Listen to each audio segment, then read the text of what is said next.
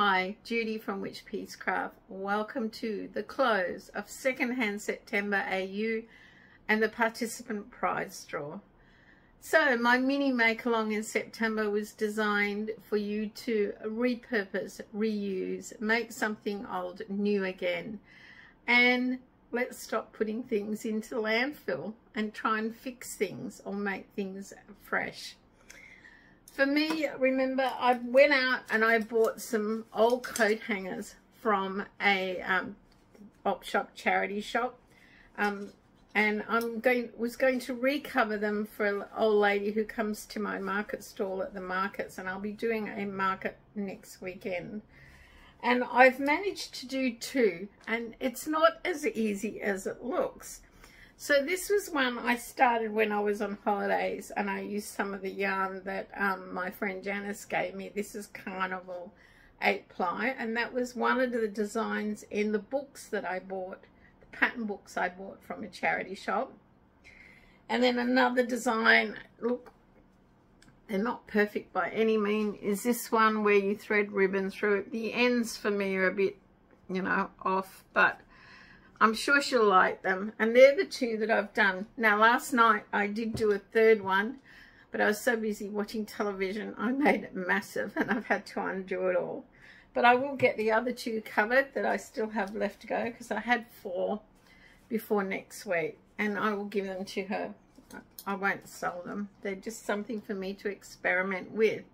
But I do think covered coat hangers are a good little stocking filler gift for Christmas or a secret Santa gift because we can always use coat hangers for our clothes.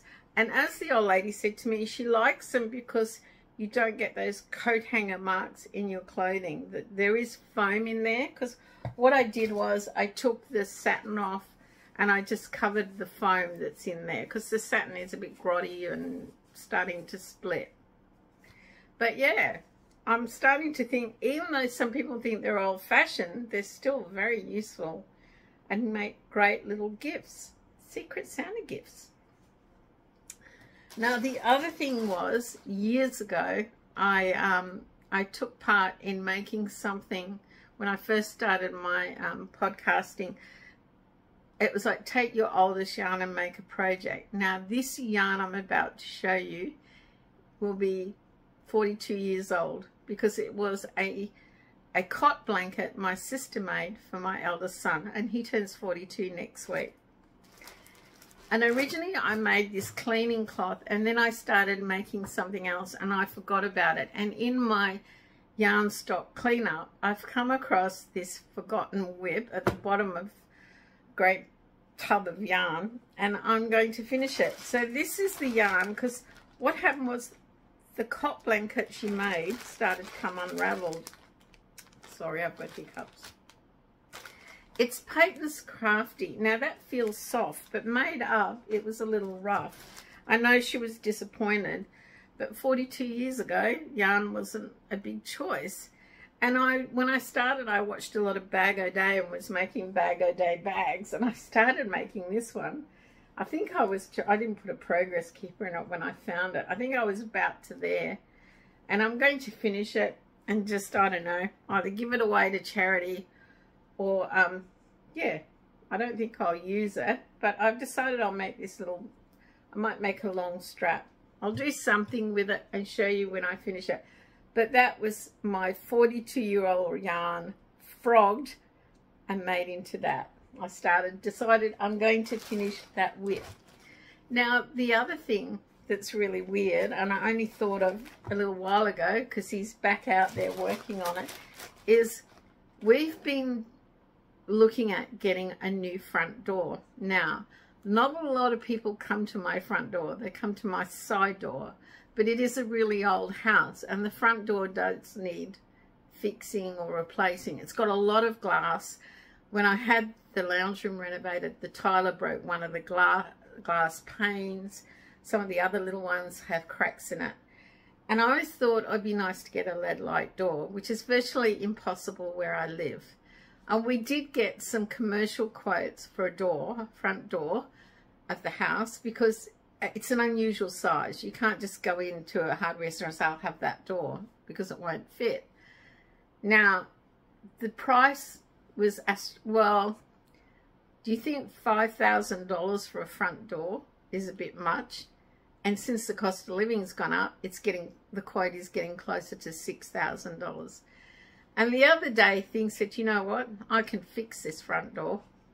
So for secondhand September, he has boarded up the front door, taken the front door off, and he's removing all the glass and will be changing the front door and finishing it. Now, having said that, in his youth, he was very good at, at little projects like this. He takes a long time, but when they're finished, they look amazing.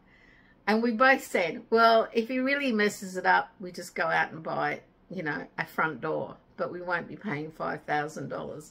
So yes, he is taking our old front door apart and making it new again.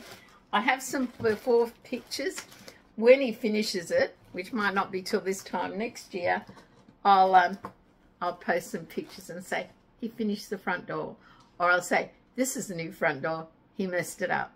So secondhand September has been a lot of fun, and I hope you congratulate the winners at the draw at the end of this video. And thank you to those ladies who really got into it in a big way and uh, made more than one item. Until next time, stay safe, stay well, take care of each other, and prayers for all our friends in Florida uh, who are doing it tough right now. Bye for now. Welcome to Secondhand September prize draw for participants. The first prize is a $25 gift voucher the second prize is a patent prize to the value of $5 and the third prize is a patent prize to the value of $5. You go on Ravelry, pick your prize and your pattern, and I gift you the pattern. Now if you don't use Ravelry, I will look at Etsy, but I always have difficulty gifting patterns on Etsy for some reason. Anyway, there were 11 participants. Some people did more than one project, but I've just given everybody one entry.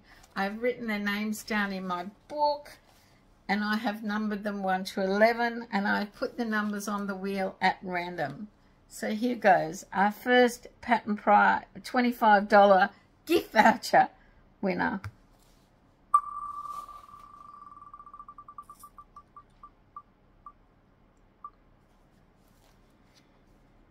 Number six, my lucky number.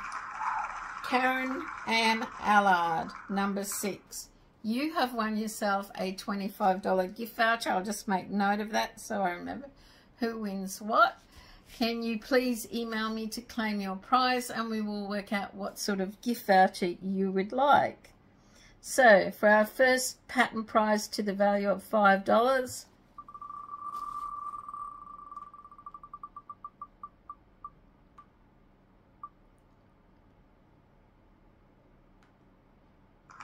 Number 10, Ashley Reese. Ashley, you've won yourself a $5 uh, patent prize to the value of $5. If you could email me to claim your prize and tell me whether you can go on Ravelry to uh, pick a pattern. I'll just write down first pattern prize. Ashley Reese.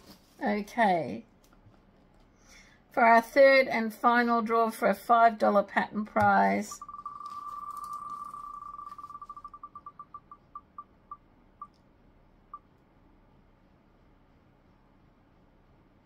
Number seven, Demetria. Oh, I'm going to have to put the names at the end because I really can't pronounce the surname. I'm not sure I'm getting the first name right. Demetria, you have won yourself a $5 patent prize. There you go, ladies and gentlemen. Thank you for taking part in Secondhand September. I wish I could give everyone a prize, but I can't. But to those who've won, make sure you congratulate them. It was great that everybody participated. Thank you. Until next time. Bye for now.